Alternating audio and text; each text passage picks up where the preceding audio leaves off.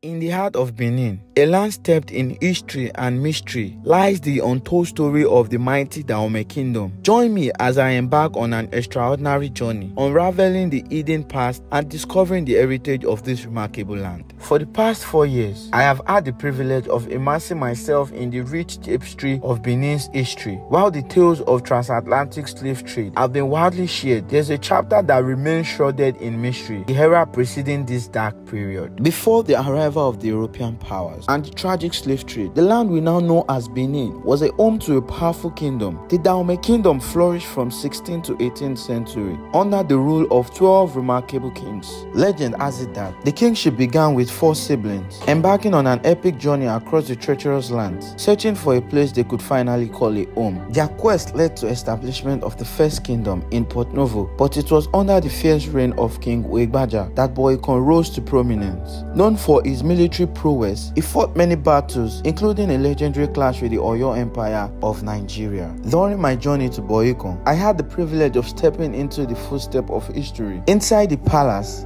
I beheld the wonders of the past. It is the palace of the kingdom with Baja, the creator of the kingdom. the first king of The Dahomey. first, yes, the first of Dahomey. The ancient artifact spoke volume about the grandeur and significance of the Dahomey kingdom. Even to this day, the people of Bohicon maintain a deep connection to their ancestors. The ritual performed with unwavering devotion serve as a testament to their unbreakable bond with the past. The tomb where each king reigned over Boycon stand as a sanctuary of power and reverence. The surrounding scores of the ritual echoes the spirit of the past, ensuring the strength and protection of their successors.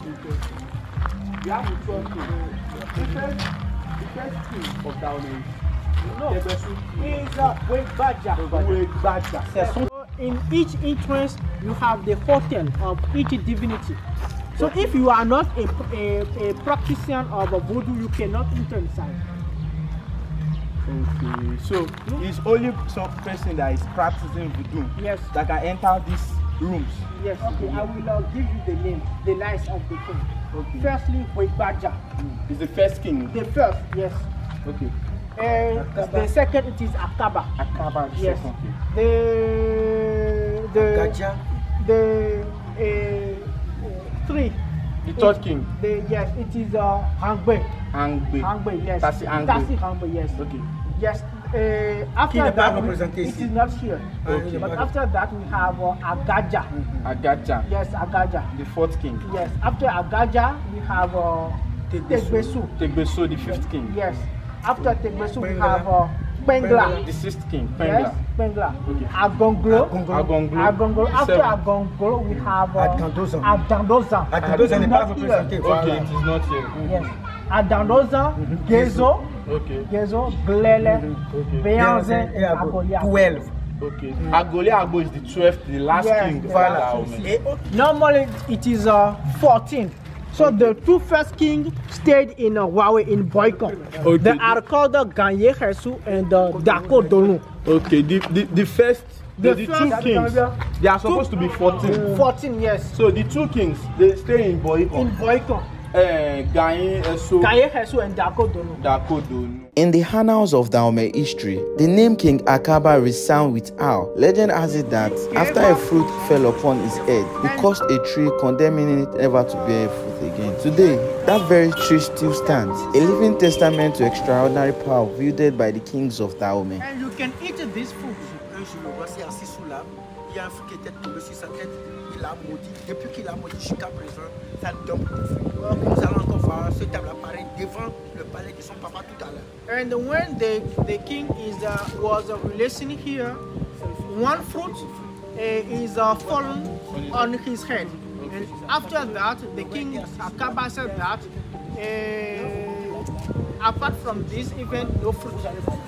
So the, what's the name And after that, the king not uh, not never give up fruit again. So King, Ak- the fruit fell on Akaba. Yes, yes, So he commanded the not to bear fruit. yes, no, no. As I concluded my journey through the corridors of time, I am reminded of the profound wisdom bestowed upon us by the people of Dahomey. eyes of the beauty of Benin Republic. Your kingdom is so special. just take a look at this piece of art carved here. All these things are so beautiful. Like I'm amazed. The existence of art is from Africa. If I'm ever going to be something, I'll be Africa. This is where we belong. Regardless of our chosen belief, we can pay tribute to the way of our ancestors. Used to represent the king. Okay, this is what they used to represent Yes, the king. it is a- Bâton de commandement, Yes. Embracing the interconnectedness of our shared humanity. It's been uh, 50 years old. 50 years Yes, old. yes. Wow. Still, it's crazy. This one. Yes. Ça là, c'est c'est divinité et repos. The, the twins are divinity. Jumeaux. The twins divinity Yes. of the anyone anyone that give birth to twins. This is their divinity. As a see, Yɛmɛ wele wa, yɛmɛ wele wa zɛn, gbogbo si ń bɛ repos dzi. Mɛ àmọ́ fɔ kan fo bɔ do. A comprend that? Fi le kpɔ ɛdza fo do wa. Mɛ fi le dza fo do gbogbo fi le mɛ deɛ fo do. Malgré yɛ gosi susu do kpɔ. it's just okay. It's, mm. it's just to say that mm. they are they come from the the same person. Okay, so they come twins are person who came at the same, Same time. time. So to say that they come here to at the same time, but they did, they don't have the same end.